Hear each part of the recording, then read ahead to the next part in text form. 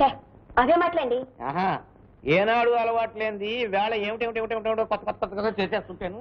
అబ్బా మహా ఏ అలవాటు లేకుండానే ఇంతకాలం కాపురం చేశారేమిటి? అప్పుడు ఒంట్లో ఉందే నువ్వు గొంతు పట్టుకున్నా విదిలించుకోవడానికి. ఇప్పుడు ఒప్పుకుంటారా?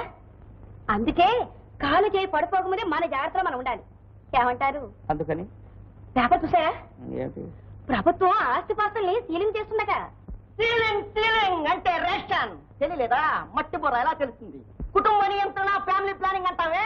అట్లాగే ఆస్తి నియంత్రణ. ఎంతకంటే పొలాల గిలాలు ఎవరికి ఉండటానికి వీలేదు ఎంతకంటే డబ్బు గిబ్బు ఎవరికి ఉండటానికి వీలేదు అది తాత్పర్యం. అందుకని నాకు ఒకే ఒక్క ఆలోచన తట్టిందండి అట్లా చేస్తే ఆస్తి నయా పైసా కూడా బయటకు పోదు. ఏమిటో నయా పైసా బయటకు పోని ఒకే ఒక ఆలోచన? మనం విడాకులు తీసుకుందామండి. ఆ? విడాకులు. అట్లా చేస్తే ఆస్తి చచ్చినట్టు రెండు భాగాలు అవుతుంది. అప్పుడు ప్రభుత్వం మళ్ళీ ఏమీ చేయలేదు. ఎట్లా ఉంది నా ఆలోచన? నువ్వు ఆడదానివేనా? ఆస్తి కోసం కట్టుకున్న వాటితో తెగదింపులు చేసుకుంటావు? ఇప్పుడు అంతకంటే ఎక్కువ ఆహ్వానిస్తున్నావు? అర్థమైంది అర్థమైంది. ఇదిగో ఈ ఆస్తి నా స్వాధ్యత నువ్వు నీ కొడుకు వంద కొబ్బరికాయలు నా నెత్తులు కొట్టిన ఒక చిల్లు గవ్వ కూడా మీకు దక్కనివ్వరు అంటే మేము బయరాటిలో కలిసిపోవాలా? ఇప్పుడు కొత్తగా కలిసేదే ఉందిరా. అన్ని హంగులు ఉన్నాయి. చెప్పు కూడా చేత పుచ్చుకుంటే అవతారం పూర్తి అయిపోతుంది ఏమ్మి? ఏమండి? ఆఖరిసారిగా చెప్తున్నాను రేపు మీకు ఏదైనా అయితే వీడేనండి మీకు తలకొర పెట్టాల్సింది. ఎత్తాడి చిచ్చి, నీ నోళ్ళు బడా ఎప్పుడు తెస్తాడా అని ఎదురు చూసే మీరు కూడా ఒక మనుషులేనా ఇదిగో ఇప్పుడే చెప్తున్నాను జాగ్రత్తగా మీ ఇద్దరు వినండి. నా ఆస్తి నా రాజుకు రాసేస్తున్నా. ఇదిగో ఇప్పుడే చెప్తున్నాను. అట్లా జరిగిన మరుక్షణం నేను యోగయో చూసుకుంటాను. తర్వాత మీ ఇష్టం. అట్టా పెరగడమే నాకు ఇష్టం. ఇదిగో నుయ్యి గొయ్యి అయితే తర్వాత శవ పరీక్షలు పోలీసులు సాక్ష్యాలు ఇవన్నీ ఏడుస్తాయి.